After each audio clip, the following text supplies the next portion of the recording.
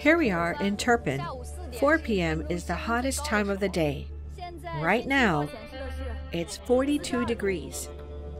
Let's measure the ground temperature. Wow, it's 63.4 degrees. I'd struggle to hold on much longer without the right equipment.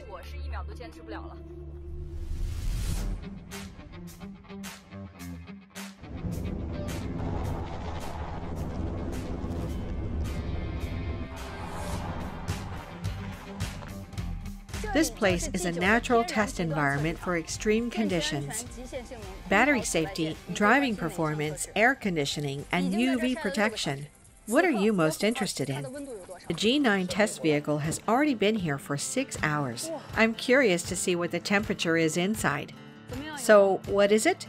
60 degrees Celsius. In Turpan, you should never leave your car directly in the sun.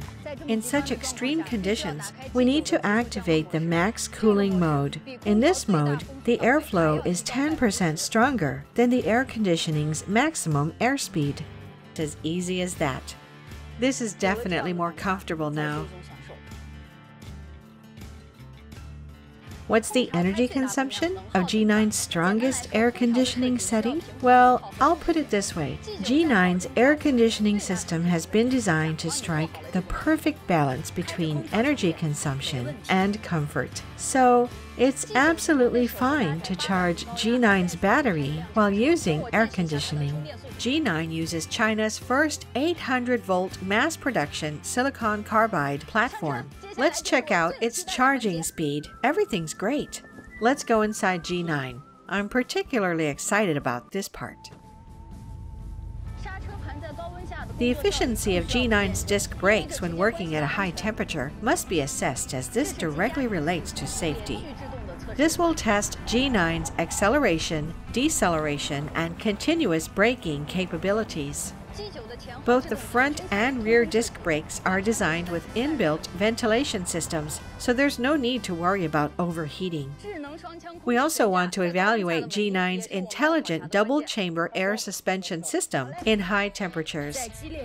During intense drives, the air suspension system will automatically adjust its stiffness to ensure everyone in the cabin has a comfortable experience.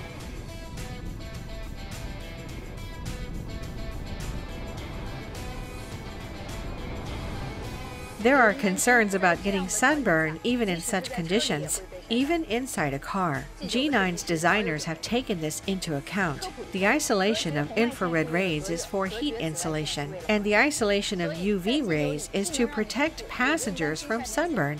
So, in G9, you'll feel even more comfortable knowing you don't have to worry about sunburn. Although this test series has come to an end, it's also a new beginning for us at XPeng. See you next time!